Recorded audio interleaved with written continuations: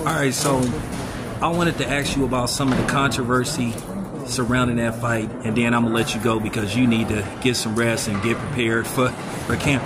Um, a lot of people said that the referee unfairly gave Devin Haney a lot of time to recover.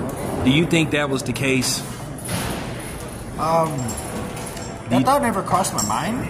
I mean, the only time that I saw the ref kind of give him extra time, this is just me trying to remember. Um, when, when Ryan hit him after the break or the knockdown or whatever, or whatever it was, he had a point off. I mean, that's what the ref is supposed to do. You know, take a point off if you, you know, if you're deliberately hitting him out like that after the break or something like that.